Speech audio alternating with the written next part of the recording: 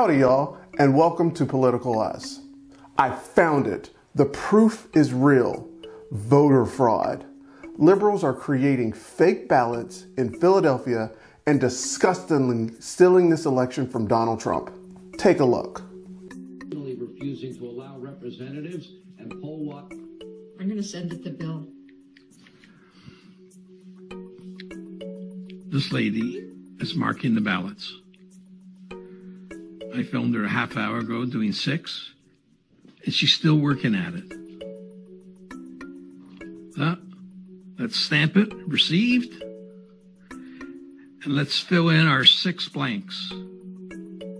All at the top of the tickets on each one. One, two, three,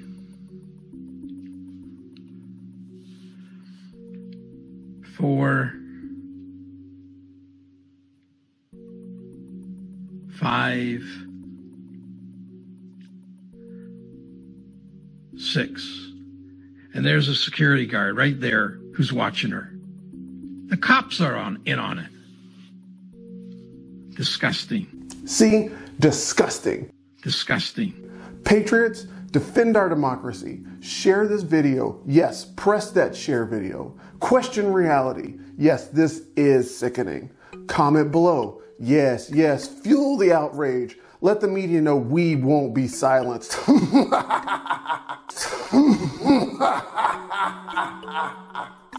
or maybe there's a perfectly good explanation for what we're seeing. Maybe instead of mindless outrage, we take a second to look at something that, although a fantastic story of deceit and shadowy actions, doesn't really make sense. First up, let's address what we actually see. As any good salesman, magician, or conspiracy theorist will do, the guy in this video does an excellent job of directing your eyes where to look. This lady is marking the ballots. I filmed her a half hour ago doing six, and she's still working at it. Uh, let's stamp it, received, and let's fill in our six blanks all at the top of the tickets on each one. One, two, three,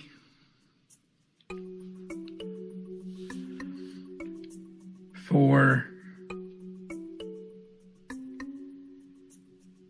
five, six. And there's a security guard right there who's watching her. The cops are on in on it. And to be clear, I don't think he or most Americans sharing these types of videos are purposely trying to deceive anyone. I think they're concerned about the processes. However, they're sharing and commenting on what they wanted to see, not what actually happened. Here, our attention is focused on what she is doing She's filling out ballots and has been for a while. She's stamping them. She's making fraudulent ballots. And for good measure, the police are in on it. Disgusting, right? Disgusting. Here, right now, is where real intelligence and perceived intelligence split. Perceived intelligence, the notorious independent thinkers, take what they saw and immediately start plugging it into what they already believe. Government is bad. Trump is the victim. There's going to be fraud in this election. And how does this fit into all of that? They'll take what they were told and plug it in to what they believe. On the other hand, the correct hand, real intelligence wants to understand more about what they actually saw. The story of voter fraud that is told to us is fun, just like a magician's trick. But what we want to know is how did that happen? What did we miss?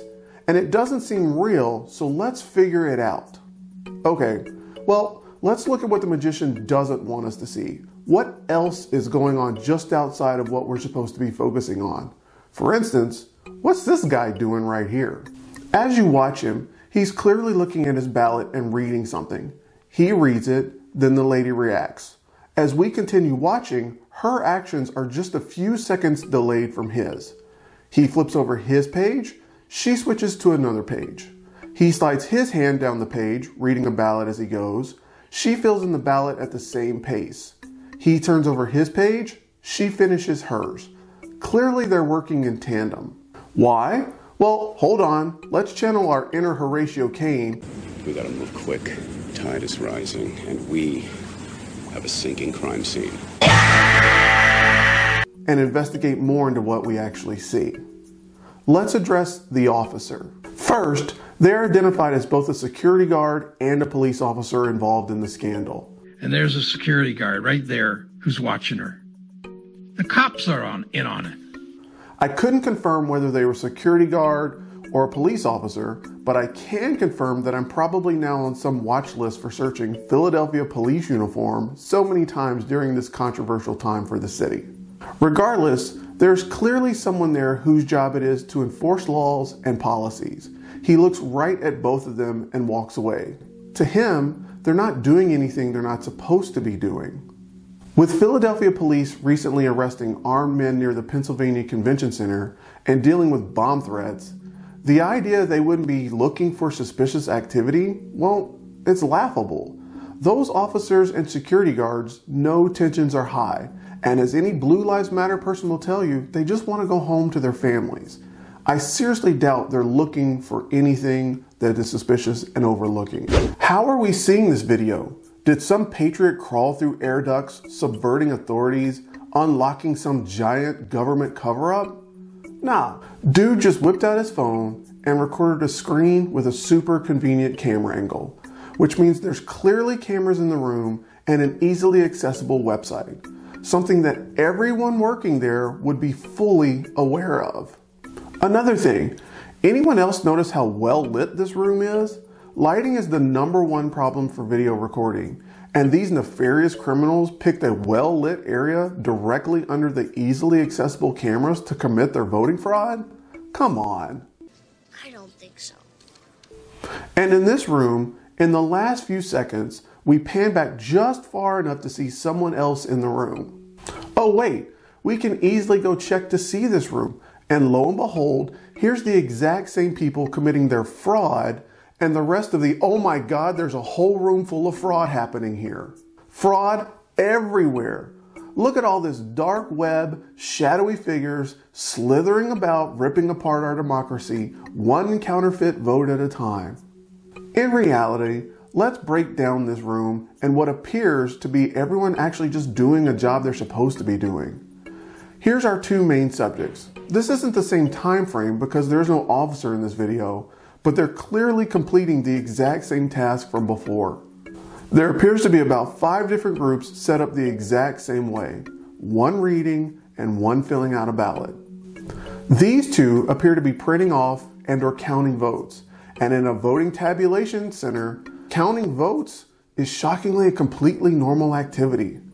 These three right here appear to be verifying envelopes, envelopes that are checked for postmark dates, illegal identification markers, and anything else that would void the ballot. And the two in the back are observing the entire room. And again, I'm not in the room, but they appear to be supervisors for the actions in the room. You know, looking important, but not actually doing anything. Supervisor stuff. If you ask me, this looks like a well organized, bipartisan process with checks and balances along the way. So, what is actually going on in this room? Pennsylvania's election code states that if any ballots or district total cards are damaged or defective so that they cannot properly be counted by the central automatic tabulation equipment, a true duplicate copy shall be made and substituted for any such damaged ballot or card. All ballots of this sort are labeled as duplicate and contain a serial number that is documented on the damaged or defective ballot. A representative from each party sits down and duplicates the ballot, ensuring its accuracy. The fact this video shows them filling out all Democratic candidates isn't because they're committing fraud. It's because some American in Philadelphia filled out a ballot that ended up damaged. The bipartisan Americans in the room are just ensuring that their vote gets counted. Some ballots can be damaged as they are extracted and will not scan successfully. And if the machine not scanning it sounds far fetched, I can tell you at my voting location in a red state, The machine I use rejected the first attempt of every single one of us that tried to use it. I watched it after mine failed. It all failed the first time and scanned perfectly fine the second time. The manufacturer for these machines in Philadelphia recommends transcribing as the only solution for accurately getting the vote. There is nothing happening here that is illegal or open for fraud. Guys, President Trump has spent months, years even, chipping away at the foundations of our democracy. This whole election is being rigged. It's rigged like you've never seen before. The whole thing is one big fix. Our system is rigged. You know it, they know it, I know it, and pretty much the whole world knows it. A democracy that is very fragile, terrifyingly, without that fundamental trust that America will do the right thing, there's not much holding it together. If you need further proof, check out this TED Talk from Van Jones where he discusses what happens if the loser in an election doesn't concede.